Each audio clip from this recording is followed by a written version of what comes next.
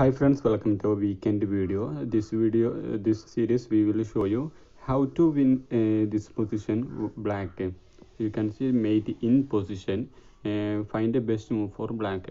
I will play here because he cannot move. This q um, king. This uh, file is protecting my q uh, rook this square is, two square is protecting my queen. This is our first uh, first puzzle. So let's see another puzzle uh, this is uh, another puzzle. You can see uh, black sorry white made a check for me. So i have to uh, decided to make a this i have to capture this uh, bishop.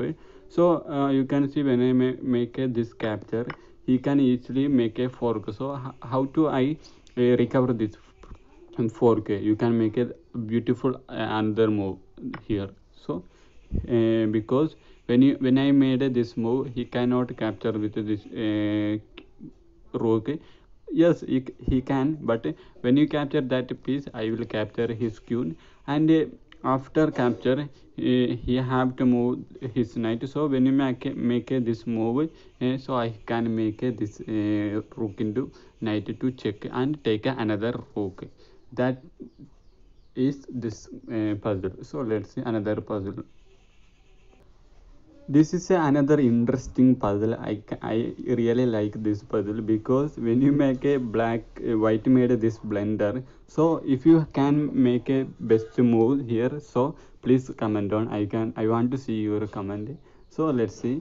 Uh, because when you make a white here to here this rook i can make a forced move. So when you make a that check it is a check so he cannot move his uh, rook so he have to capture or uh, move his queen so he decided to capture my uh, bishop so i can easily capture his uh, rook because that rook is not protected by other pieces so guys this is a, uh, our weekend video. If you like this video please comment on and if you uh, if you want to more like this uh, if you are seeing this video on uh, youtube please subscribe. If you are seeing in instagram please follow me. Thank you for watching